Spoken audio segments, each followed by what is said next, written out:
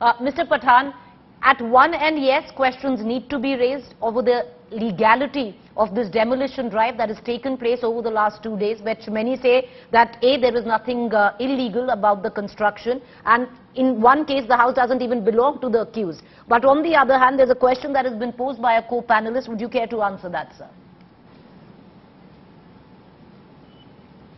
Well, first and foremost, Preeti, I have always said and I reiterate that violence of all kind is condemnable and we don't support violence. Our party stand is clear. If Nupur Sharma has committed, uh, some, if she stated so something against our Prophet Muhammad, peace be upon him, which she should have not said, She's tried to insult and we will not tolerate that. So we have said that let the law of the land take its own course.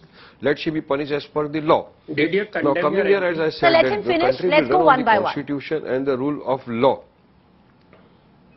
Go ahead, Well, Mr. the Pathan, make country your will point. run on the constitution and follow the rule of law and not on the bulldozer politics.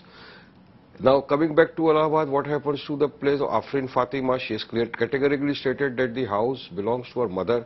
Her mother has been making the payments, the bills of the municipality and everything. And if the Yogi government felt that it was illegal, so what were they doing for the last seven years? And let me tell you, Yogi is not the Chief Justice of Uttar Pradesh, he is the CM of Uttar Pradesh. He should not take law into his own hand. In law, it is said that a man is presumed to be innocent unless and until proven guilty by the courts of law.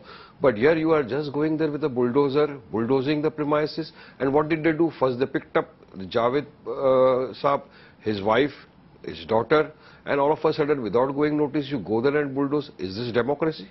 Are they following the constitution? Is this rule of law? Then what is the use of the courts? Why don't we shut down all the courts in the country and if you find that a man is indulging in this activity, straightway hang him. Go with a bulldozer, demolish his home.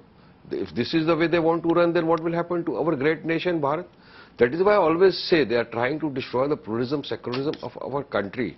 Now, ex-Chief Justice of Allahabad High Court, Allahabad High Court, I am talking about him, he has said so. And in your paper itself, the Indian Express reported that you cannot use bulldozer, you cannot demolish. Demolition itself is an illegal act. Now, so will we follow the ex-Chief Justice uh, statement or should we go ahead and follow the uh, statement which, which have been given by the so-called fringe elements of the BJP and their likes? Okay. We have to follow the law. See, if law is not followed properly, the, why they are targeting a particular community, let me tell you. The thing which we are seeing is that particular community, the Muslims, are being targeted. What happens to Ajay Kumar Tennyson? His son went there with the Thar car and he had uh, killed Okay. five of our protesting farmers who were protesting peacefully. Did Yogi's bulldozer went to his home and was his home demolished? No. So this is what we say that the systematic targeting of the Muslim community by using the bulldozer politics, Okay. which Ratan is Sharda. not good for the constitution and the democracy. Right. Ratan Sharda, you know, that's what is said. You just don't need to be fair, you need to be a pair to be fair. And here, there are questions that are being raised, sir. Would you at least reckon and uh, accept that these questions are justified? Because, yes, protests take place and then immediately right after, that's the area which is targeted by the bulldozers? Well, if you look at the destruction of uh, illegal properties in UP, in Noida, most of the houses that were destroyed or uh, demolished were of Hindus. This particular action has been going on in UP for long. It is not that has suddenly happened. Now, Mr. Waris Pathan has to decide whether it was seven-year-old illegal structure or it is something that happened just now, because he makes a contradictory statement, and he has not. He never, he never condemned either the abuse of Hindu gods, never, never condemned their MP saying that she should be hanged, hanged publicly. So you can't keep on talking constitution without following it. They they said in public in Ram Mandir case that हमको भीख नहीं चाहिए to Supreme Court judgment. That is what they said. So when you you you when you use constitution very very sparingly, and when triple talaq case came up, you said you don't agree with it.